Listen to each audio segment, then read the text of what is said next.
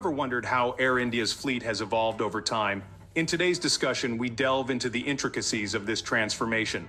Rewind to early March 2023. Air India was operating with a fleet of 113 airframes.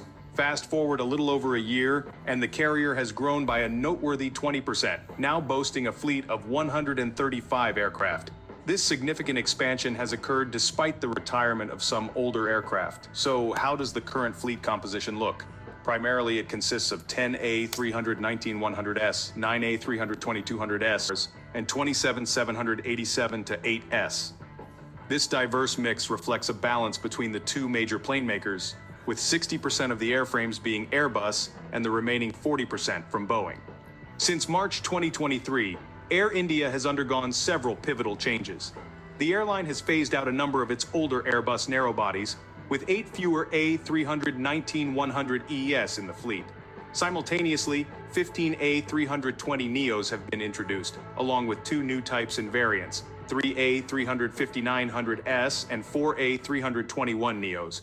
Interestingly, some older aircraft types have also been added to the mix. Between late 2022 and mid-2023, the airline took delivery of five Boeing 777-200LRs, Additionally, from mid-2023 to early 2024, six 777-300ERs were incorporated into the fleet.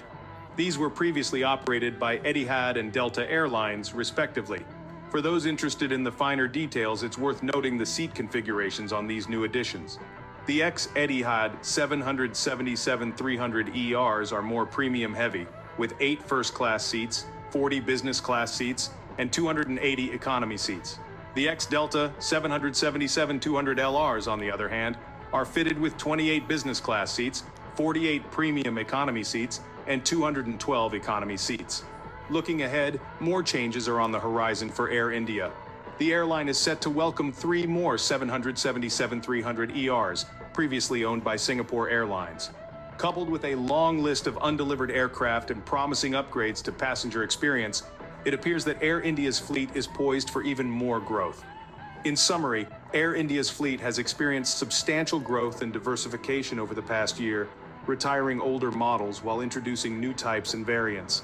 With a steady stream of incoming aircraft and planned improvements, the future looks bright for India's flag carrier. Thank you for joining us on this fascinating journey through the evolution of Air India's fleet. Until next time, keep your eyes to the skies.